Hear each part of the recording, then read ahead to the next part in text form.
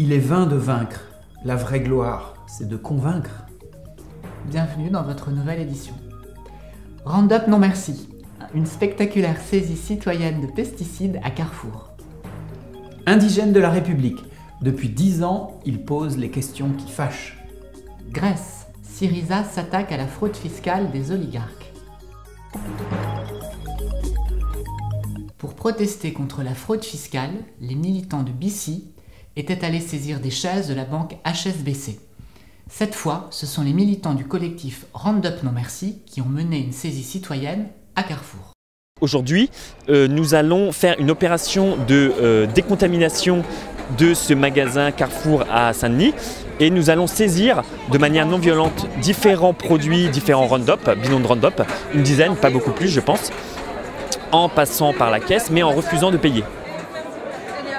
Euh, dans le Roundup, ce qu'on dénonce, c'est la présence du glyphosate, qui est un composant chimique euh, extrêmement toxique et qui est responsable euh, d'une pollution marine dans les hum, comment dire dans les, ruisseaux, les cours d'eau à proximité des champs où le Roundup est, répandu. Il y a eu beaucoup d'actions qui, se sont faites dans les magasins Auchan en Bretagne. Le, le, produit Roundup a été enlevé des rayons de tous les Auchan en Bretagne. Il y a eu une action aussi récemment qui était dans un Auchan euh, à Port de Bagnolet, à Paris, où tous les produits contenant du glyphosate, euh, Roundup et, d'autres marques ont été enlevés des rayons et ne sont plus du tout vendus. Pour moi, la contestation, euh, c'est quelque chose de primordial. Je pense qu'on doit se battre voilà, pour les inégalités. Par contre, Monsanto, j'ai toujours été accablé par leurs actions, par ce qu'ils font, etc.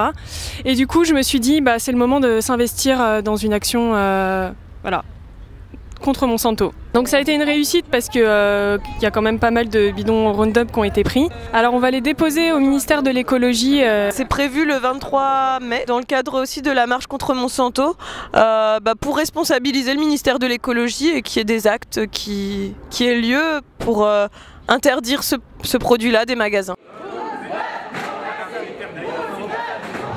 Depuis 10 ans, les indigènes de la République bousculent la gauche en l'obligeant à questionner son rapport aux populations issues de l'immigration ou héritières du passé colonial de la France.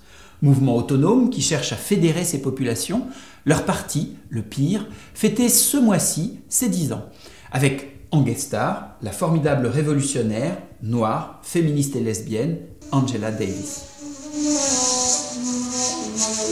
Les Français savent que la Seconde Guerre mondiale prit fin en Europe le 8 mai 1945. Mais beaucoup ignorent que ce même jour, des milliers d'Algériens furent massacrés lors de soulèvements populaires à Sétif et Guelma, en Algérie, par les forces françaises. C'est pour perpétuer la mémoire de ces massacres du 8 mai 1945 que le Parti des indigènes de la République avait justement choisi cette date pour fêter le dixième anniversaire de leur création. Sérid Arefi, flûtiste, jouait pour les victimes en ouverture de la soirée.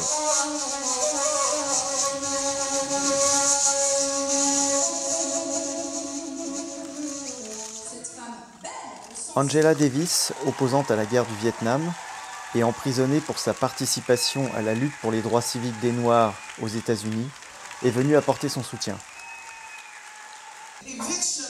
Elle a dit sa fierté de se retrouver au milieu de toutes ces femmes opprimées, invitées à prendre la parole à sa suite pour raconter leurs divers combats. À l'image de Isman Schulder, vice-présidente du collectif des féministes pour l'égalité et battante multicarte.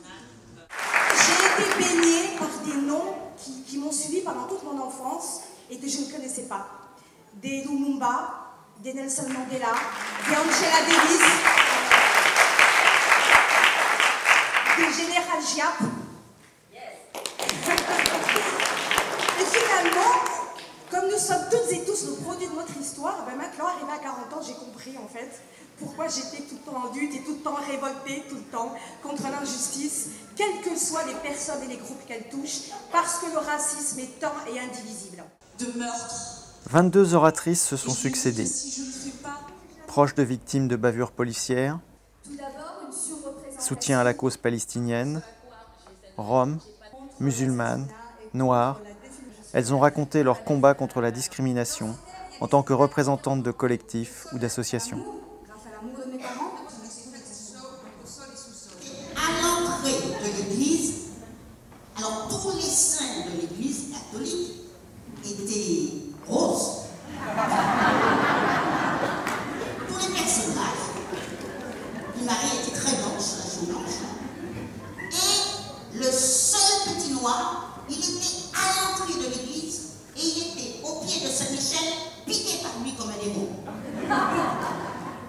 que ça m'a ça m'a impressionné à un point quand on parle des images, comment ça peut effectivement impacter le subconscient. C'est pour ça qu'on fait les yeux blancs.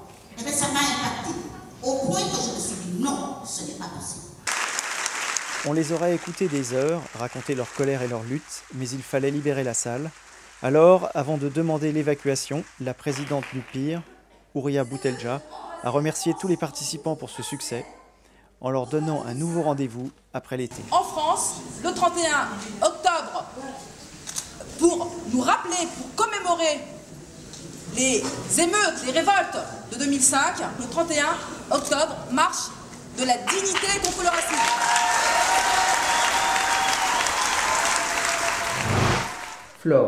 Tu sais qu'une bonne partie des dettes des pays européens, ainsi que des déficits de nos services publics, s'expliquent par l'évasion fiscale c'est-à-dire le fait que les plus riches, les particuliers ou les entreprises, échappent largement à l'impôt. Et je ne parle pas que de Le Pen.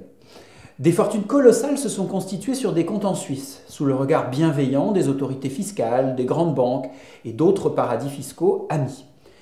Mais un pays, en Europe, a décidé de faire payer les fraudeurs. La guerre promise par Alexis Tsipras contre les oligarques grecs a commencé mercredi 22 avril avec l'arrestation surprise du fils de l'un des principaux magnats de l'économie grecque, Georges Bobolas. Leonidas Bobolas est accusé d'avoir caché plusieurs millions d'euros hors du pays. L'homme d'affaires a été immédiatement conduit au tribunal d'Athènes en procédure de flagrant délit. Après quelques heures, il a accepté de verser les 1,8 millions d'euros d'impôts réclamés par la justice, ce qu'il avait, selon des sources judiciaires, jusqu'à la refuser de faire, et a donc été libéré. Son nom, ainsi d'ailleurs que celui de son frère Fotis Bobolas, était apparu sur la liste Lagarde. Cette fameuse liste avait été remise en 2010 par Christine Lagarde, alors ministre française des Finances, à son homologue grec de l'époque, Georges Papakostadinu. Elle contenait les noms de centaines de résidents grecs ayant transféré des fonds en Suisse sur des comptes de la banque HSBC. Selon la presse grecque, l'enquête sur la famille Bobolas aurait débuté début avril. Bobolas est le PDG de la multinationale Elactor SA qui avait un chiffre d'affaires de 1,2 milliard d'euros en 2013. La société a été fortement impliquée dans les marchés de travaux publics en Grèce et à l'étranger dans les domaines de l'énergie, dans des grands projets d'infrastructure et d'immobilier, entre autres, pendant de nombreuses années. A noter que la famille Bobolas contrôle une grande partie de l'industrie grecque du bâtiment, ainsi que plusieurs journaux et magazines, et détient des parts dans l'une des chaînes de télévision les plus influentes du pays, Mega Channel. Elle est également impliquée dans la mine d'or de Skouries. Bobolas serait aussi considéré comme le financier du parti Topotami, dirigé par Stavros Theodorakis, parti arrivé en troisième position aux élections du 25 janvier dernier. Le gouvernement grec, par cette action, montre la voie qui va suivre pour les autres oligarques grecs qui, pendant toutes ces années, vivaient dans l'impunité complète. Espérons que ce n'est que le début et que l'étau va se resserrer pour ces riches familles grecques et qu'une certaine justice sociale va enfin voir le jour en Grèce, dans un pays noyé par la corruption et la fraude fiscale. Et voilà, notre agité sans pub est terminé. À très bientôt